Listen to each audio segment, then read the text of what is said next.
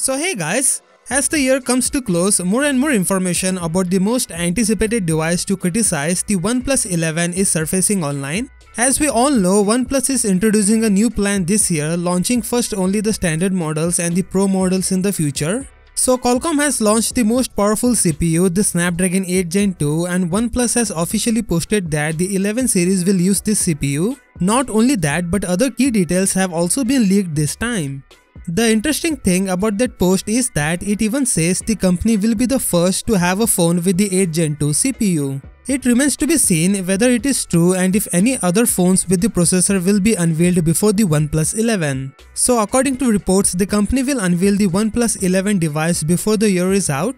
If that is the case, the launch will probably be limited to China for a while but it may also mean that the next generation of OnePlus phones will arrive sooner than ever before. Despite not having the name Pro, I believe that this will be the successor of the OnePlus 10 Pro based on the previously leaked features. All in all, over the coming months, this might become extremely confusing. The partnership between OnePlus and Qualcomm for flagship devices will continue, that is for sure.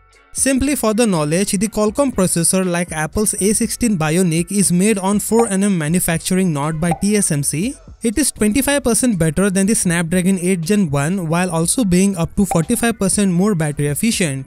Seeing this kind of performance live will be quite interesting. According to Yogesh Brar, the OnePlus 11 will come in 8GB and 12GB of RAM variants with each 128GB and 256GB of storage, which is quite usual for modern Android flagships.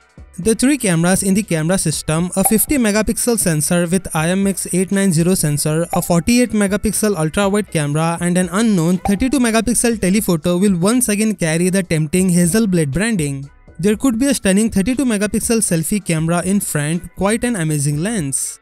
Finally, everything will be powered by a 5000 mAh battery which will accept up to 100 watt wired charging and up to 50 watt wireless charging which should be fast enough to top up the battery in less than 30 minutes and it is quite fast.